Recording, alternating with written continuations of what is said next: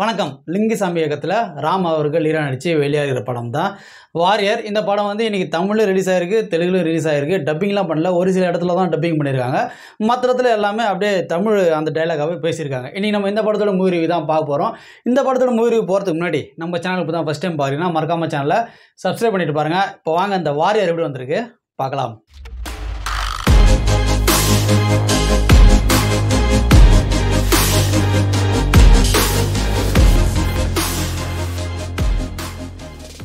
Warrior இந்த படத்தோட கதை என்ன சொல்லி கேட்டிங்கனாக்கா படத்தோட கதாநாயகன் ஒரு கவர்மெண்ட் ஆஸ்பத்திரியில் டாக்டராக வந்து சேர்றாருங்க. எந்த ஊர்?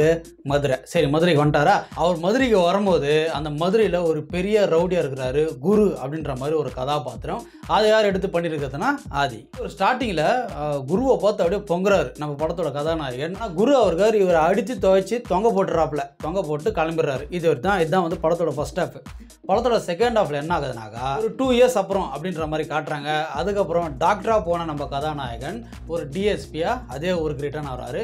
அதுக்கப்புறம் அவர் வந்து குருவை அடித்து துவைக்கிறாரா?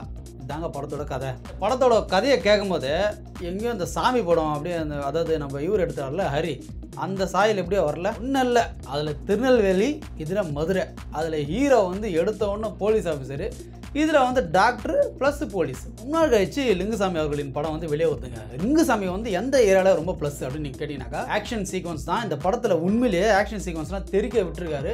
ஸ்லோ மோஷன் பல இடத்துல வந்து ஈடுபட்டிருக்கு. இது வந்து முழுக்க முழுக்க ஒரு ஆக்ஷன் சம்மந்தமான ஒரு படம் தாங்க. ஸோ இந்த ஆக்ஷன் படங்களை விரும்புகிற நபர்கள் யாருன்னா இருந்தீங்கன்னாக்கா நீங்கள் தாராளமாக போய் இந்த படத்தை பார்க்கலாம். ஆக்ஷன் காட்சிகள்லாம் வேறு லெவலில் இருக்குது அதுக்கு அடுத்து பார்த்தீங்கன்னாக்கா படத்தோட பின்னணி இசை டிஎஸ்பி ரொம்ப நல்லாவே கொடுத்துட்டு வராரு. ஸ்டார்டிங்கில் இந்த டிஎஸ்பி படத்துக்கு வந்து நம்ம போனோம்னு வைங்களேன். காதெல்லாம் அப்படியே இறஞ்சி வெளியே வருவாங்க. ஆனால் ரொம்ப ஃபைன் டியூன் ஆயிருக்காரு ஆள். ஸோ படத்தோட பாடலும் சரி பிஜிஎம்மும் படத்துக்கு ரொம்ப கூடுதல் படத்தை சேர்க்குது. டிஎஸ்பி அவர் வேலையை வந்து ரொம்ப செவனவே செஞ்சிருக்காரு. அதுக்கு அடுத்தது படத்தில் வில்ல கதாபாத்திரத்தை ஏற்று நடித்து ஆடி கொஞ்சம் பிசுறு கூட தட்டலங்க. ஒரு சில இடத்துல தான் அவர் பஞ்சு டைலாக் பேசும்போது கொஞ்சம் எடுப்படாத மாதிரி போயிடுது. ஆனால் அந்த கதாபாத்திரத்துக்கு ஏற்ற மாதிரி அவரோட உரு அமைப்பும் சரி அவரோட பாடி லாங்குவேஜும் ரொம்ப அழகாக வந்து ஏற்று பண்ணியிருந்தார். படத்தில் ஹீரோவை காட்டிலும் வில்லனுக்கு தான் ரொம்ப மெயின் ரோல் இருந்த மாதிரி தெரிஞ்சது. அதுக்கடுத்தது படத்தோட கதாநாயகன் ஹீரோ இவருக்கு வந்து ஆக்டிங் ஸ்கோப் அவ்வளோ இல்லைங்க படத்தில். டைலாக் பேசுறது அடிக்கிறது அடிக்கிறது டைலாக் பேசுறது. இதே தான் வந்து இந்த படம் முழுக்க வந்து பண்ணுறாரு மற்றபடி பர்ஃபார்மன்ஸ் ஓரியன்டாக அவர்கிட்ட வந்து எதுவுமே நம்மளால் பார்க்க முடியல இந்த படத்தில். அதுக்கடுத்தது படத்தோட கதாநாயகி கீர்த்தி ஷெட்டி. எல்லா படங்களும் எப்படி கதாநாயகிகளை வந்து பயன்படுத்துவாங்களோ அதே மாதிரி அப்படியே பயன்படுத்திட்டு வந்து அமைச்சிருக்காங்க. படத்தோட கதாநாயகனாக அம்மா வர நதியா அவங்களுக்கும் பெரிய ஸ்கோப் இல்லை சிறந்த ஆக்டர் பட் ஒரு சில இடத்துல வந்து கதாநாயகனுக்கு பில்டப் கொடுக்கறதுக்காகவே வராங்களே தவிர மற்றபடி அவங்களும் பர்ஃபார்மன்ஸ் பண்ணுற மாதிரி படத்தில் பெருசாக எதுவுமே இல்லை. நீங்கள் படத்தில் ஒரு விஷயத்தை பாராட்டலாம். என்னன்னு கேட்டிங்கனாக்கா படம் வந்து இதுதான் கதை இதுதான் நடக்க போகுது அப்படின்றது நம்ம எல்லாருக்குமே தெரியுது. அதனால் நம்மளால் படத்தோட அவ்வளோ ஒன்று பார்க்க முடியல. இது வந்து ஒரு பக்கம் இருக்கட்டும். ஆனால் கிட்டத்தட்ட ஹரி படங்களை பார்த்தீங்கனாலும் இதே மாதிரி தான் இருக்கும். என்ன நடக்க போகுதுன்றான் தெரியுது. ஆனால் படம் வந்து ரொம்ப சட்டு சட்டுன்னு போகும் இல்லையா? இந்த படம் நீங்கள் பார்த்தீங்கன்னாக்கா ஸ்க்ரீன் பிளே வந்து ரொம்ப சட் சட்டுன்னு வந்து நகர்த்திருக்காரு டேரக்டர் அதில் உண்மையிலேயே பாராட்டலாம்.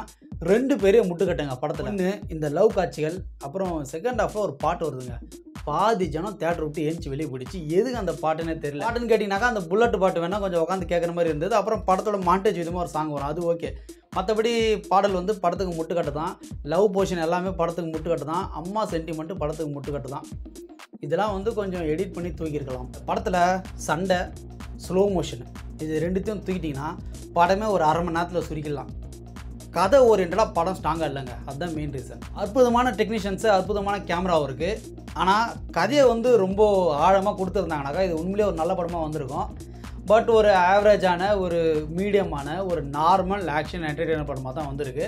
நான் முன்னாடியே சொன்ன மாதிரி நீங்கள் ஆக்ஷன் விரும்புகிற நபர்களாக இருந்தால் போய் இந்த படத்தை பாருங்கள் ரொம்ப மசாலா விரும்புகிற நபர்கள் இருந்தால் போய் இந்த படத்தை பாருங்கள் மற்றபடி படத்தில் பெருசாக எதுவுமே இருக்காது. ரொம்ப ஃப்ளாட்டான ஒரு ஆக்ஷன் படம் தான் இது. இந்த படத்துக்கு நம்ம சேனல் சார்பாக கொடுக்கப்படுற rating five out of ten இதோட இந்த மூவி ரிவ்யூ முடிந்தது. உங்களுக்கு இந்த மூவி ரிவ்யூ பிடித்திருந்தால் நம்ம சேனலை சப்ஸ்கிரைப் பண்ணிங்க. நம்ம இன்னொரு ஒரு நல்ல வீடியோவில் சந்திக்கலாம். வணக்கம்.